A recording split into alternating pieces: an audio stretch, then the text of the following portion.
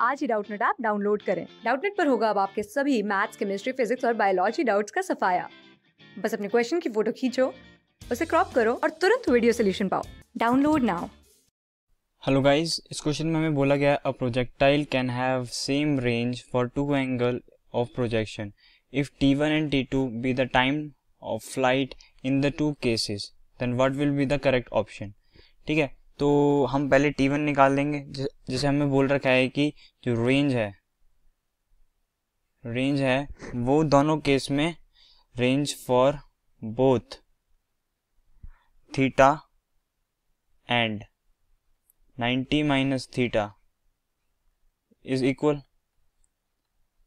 ठीक है? तो जो टी वन है, वो क्या होगा? Two u sine theta upon g और T two and T two T two होगा। Two u sine ninety minus sorry sine ninety minus theta theta upon g ठीक है? तो टी वन टी टू कितना हो जाएगा? T one into T two क्या हो जाएगा? टू यू का स्क्वायर अपॉन जी का स्क्वायर ठीक है? Into sine theta into cos theta अब ये जो चीज़ है ये कॉस थीटा बन जाएगी ये वाली। ठीक है? तो कॉस थीटा हो गया। तो ये कॉस थीटा बन जाएगी। तो अब आगे होगा आ, कि इसको हम निकाल लेंगे यहाँ से। ये कितना आ जाएगा? तो हमें देख सकते हैं कि जो टी वन टी टू है, वो आर की फॉर्म में लिखना है तो हमें पता है कि आर क्या होता है। आर क्या होता है? U square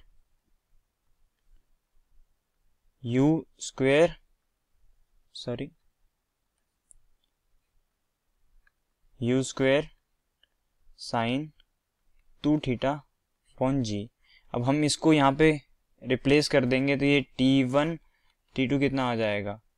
are into u square ठीक है? आर इंटू नहीं यू स्क्वेयर नहीं आएगा।